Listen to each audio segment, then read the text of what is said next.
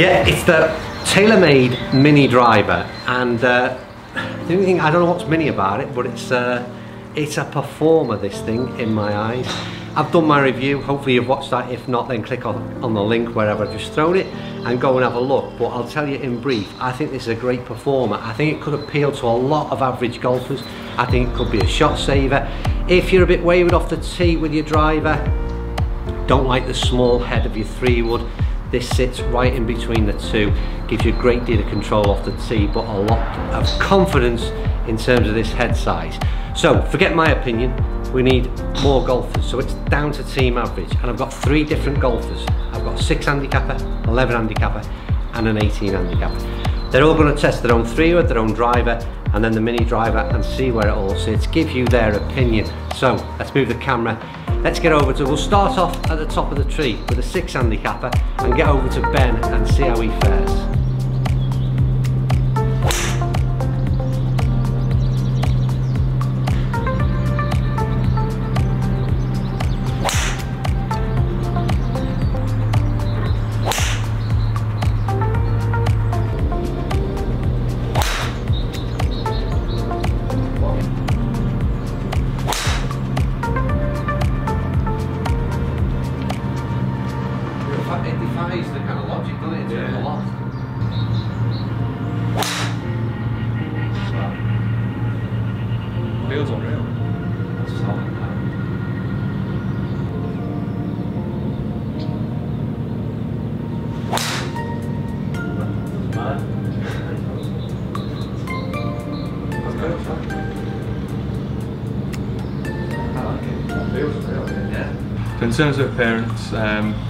it was quite strange at first because I've never really seen a club bigger than a three wood but smaller than a driver.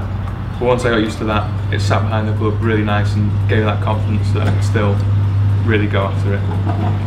Uh, well, my three wood at the minute, I'm hitting it really nice. I'm confident that when I put it on the tee, I'm going to hit a fairway. Uh, compared to mini driver, I was expecting it to be maybe be five or six yards further, but it was a 15 yards difference, which is quite big and I didn't lose out any dispersion, it was pretty similar. But it was strange because with the three being 15, you'd expect it to go launch a bit higher, but it was the, the opposite, the mini drive was going higher, which was a bit surprising. Well, my driver, again, setting up on the tee, I'm fairly confident I hit a fairway with the occasional pull. With the mini driver, I didn't have any pulls, they were all fairly straight down the middle, which is perfect. And there was only a five yards difference which was unexpected because I thought there'd be a bigger gap between the wood and the mini driver and driver compared to the three wood and mini driver.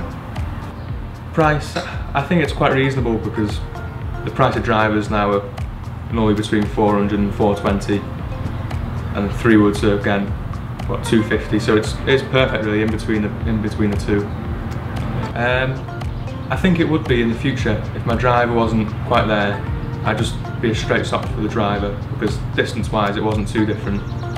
But it was the dispersion was so like, much better. It'd just be ideal for hitting fairways and yeah thumbs up. Yeah really liked hitting it. Looked great felt great and really good yeah. Right, some pretty impressive numbers there from Ben and he's been absolutely ripping that club, believe me, both on and off camera. And uh, I think the only thing I'd say about Ben is that we could pretty much give him most of the clubs that are sat in this bay and he'd get some decent performance out of it. So we need somebody who's maybe not as consistent. So we're going to go up the handicaps. We're going to go to 18 handicapper Tom. New to the channel. He's, um, as he'll explain, a little bit wayward with his driver sometimes, prefers the confidence of the three wood, but will the mini driver be a solution for Tom, give him some confidence off the tee and retain that yardage that he was getting on his driver? Oh, Over to you, Tom. Let's see how you get on with this mini driver.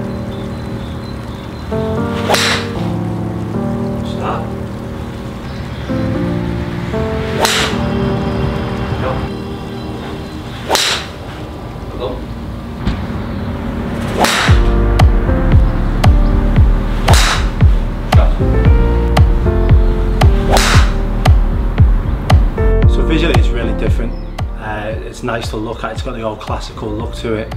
Uh, sat behind the ball, really nice to be fair compared to my other clubs. The size of the head for someone of my handicap in particular was a lot easier because you feel more comfortable hitting that. In terms of confidence, it's definitely a free one, but usually referring to a normal day of golf, I would hit driver off the tee because everybody likes to hit driver off the tee. Um, my consistency more comes with the free wood compared to the driver, so probably think I'm more sensible. I should refer to my free wood a lot more.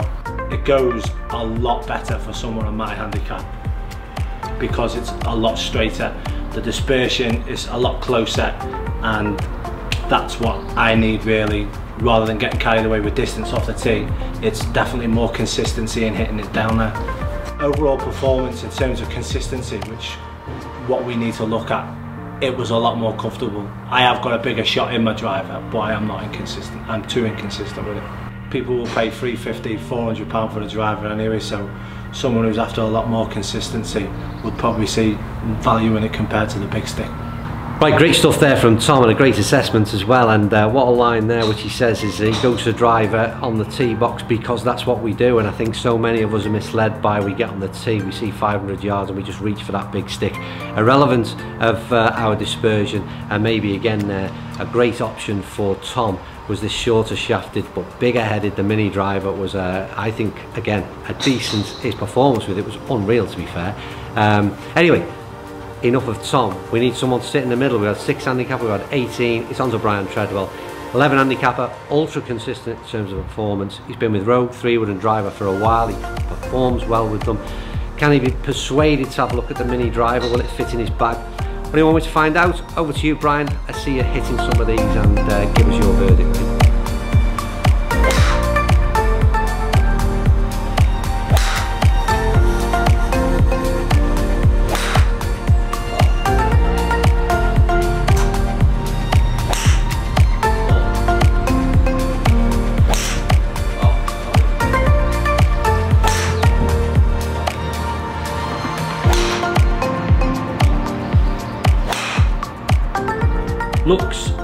Um, always said it never been an important factor for me when it comes to a club. I'm much more interested in all of the other important features that a club brings to your game. However, this club looks absolutely fine. Um, it's not garish. Um, it's quite a stylishly designed club. My game's progressed over the years. I'm playing off 11 now. Um, my driver is unreliable. Um, when I catch it peachy, it's a wonderful shot. And when I don't catch it peachy, I'm in trouble. The three wood is much more reliable, gives me a decent amount of distance. Um, so on tighter fairways, I'm now going to my three wood as opposed to my uh, driver as my as my club of choice. Big wide open fairway, I might unleash the driver. It feels like a three wood behind the ball when you're at address. The bigger head therefore gives you much more confidence. So there's no um, anxiety or nerves about it when you're addressing this ball or doubt as to where your driver, whether you put a good swing on it or otherwise, that might then mean dis dispersion means you're in trouble on your second. This felt great behind the ball and I was today like a kid in a candy store. I could have been here all day hitting this club. Um, I liked it a lot. My numbers on the uh, TaylorMade um, original one um, were surprisingly really good. That's probably because I'm not chasing after any single one of the swings um, I'm getting a much more consistent uh, response when I strike the ball. Um, it felt a lot better, confidence inspiring. Um, I will be reaching for this club rather than running away from it in a situation on the course. In contrast with my driver, I'm an 11 handicap like every other golfer. I'll hit one shot with my driver that's a screamer and then think that's the pattern for my play and it just isn't. Um, my existing driver gets me into trouble I'm not convinced this would at all. Very pleasing. I know I did a, a Google search and I spotted those numbers from a range of retailers. Um, £300 is a proper decent price for a driver and we'll encourage people to come out and buy this product. Um, I suppose it has to sit within that range as a distinction between their M5 and M6s. Um, but this is a driver that, that I think will appeal to those that can park their ego and those that are focused on their score, I'm presently 11. I think this, this driver will get me down into single figures. Right, okay, so it's over for me to do an evaluation. It's been a real interesting test, and uh, watching from afar has been uh, a bit of an eye opener, to be fair, because I think that I've done my test and I've watched these three other guys from different handicap levels uh, do theirs today. And the one thing I've noticed is that we're testing the mini driver, but there's one thing for sure is that the shorter shaft is a great option for average golfers. Whether that means a shorter shaft in your current driver as an option uh, I'm not dismissing that but we're obviously we're just reviewing the uh, the mini driver today. But that extra control and that ability to find the centre of the club face is all important because it does two things. Obviously I seem to have noticed that everybody's ball speeds have either been increased or stayed very little different to that of the driver. And in most instances like I said actually increased and that's obviously down to the fact that they're finding the centre of the club more often. So that's one thing in terms of ball speed which you think would relate then into overall distance of performance. But the dispersion has been again markedly different for almost everybody. And I think again that comes down to that greater control. There's been one word that's been used by a lot of people and that's confidence at address. And I think it's key. I know for me again personally that larger head profile feels like you can't miss in terms of confidence uh, at address but also that shorter shaft giving you the greater control. And I think it's a, it's got a great combination between the two. Uh, and for me, I think that TaylorMade are obviously uh, often criticised for the amount of products they release. That's one thing we aim at them. But I think in this instance, this is a, this is a great product, a great release, and I think it's well worth giving a try. Particularly, like I said, um, if you struggle with driver in terms of uh, your ability, how wayward you are with it in terms of overall performance, then yes, it's well worth having a look at. If you're then scared of the three wood because of the smaller head profile, then again, it's worth having a look at.